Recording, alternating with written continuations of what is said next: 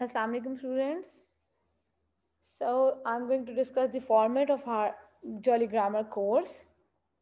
In this course, we are going to have the children from two groups, age 5 to 7 and age 6 to 9.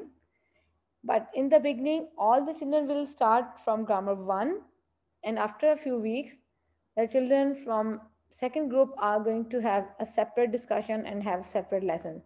So in the beginning, all the students are going to be in the first group, age 5 to 7 and age 6 to 9. This is going to be our course format. I'm going to discuss course modules, course material, course format, and how I'm going to assess your grammar knowledge.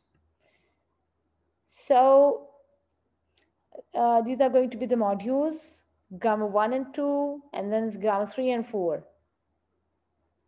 Basically, we would be starting from grammar 1 and 2, and the end point is going to be grammar 5 and grammar 6. But all the students are going to cover as per their age requirement. I'm going to use grammar pupil books, worksheets from handbooks, grammar games, grammar activities, and grammar projects. So it's going to be more hands-on application rather than memorization of concepts.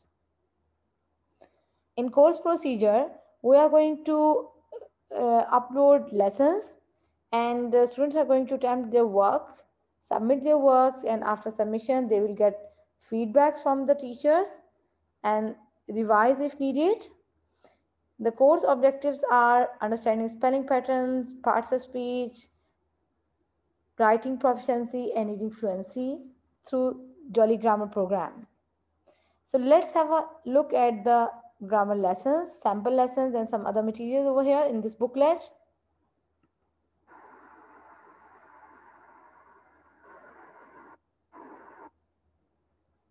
You can see that um, it's a fun and effective grammar teaching.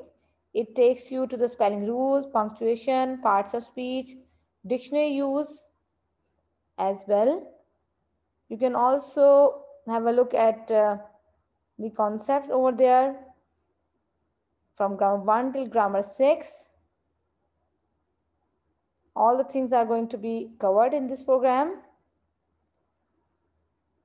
Basically, I'm going to use grammar pupil books for this purpose. You can see grammar resources and grammar actions as well. So let's have a look at some of the pages once again. Let's stop on page number one.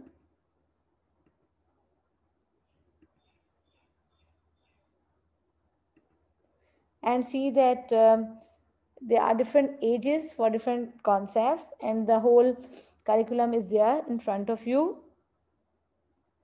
Now let's move to the next page.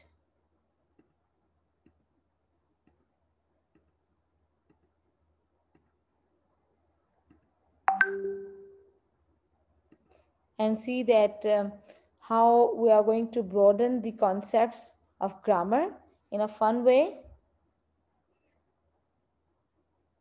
Next, we have got some other ideas like how we are going to use them in all aspects of grammar. And it's building from Jolly Phonics. From Jolly Phonics onwards, it's coming up to grammar 6. And it's as per the national curriculum as well. Of course, national curriculum of UK. Okay, so now the discussion is all about course assessment. I'm going to assess my students through different reading assessment tests, writing assessments, speech analysis, quick quizzes, assessment of the worksheets, and they are going to get instant feedbacks as well. So if you have any questions regarding this, you can message or email.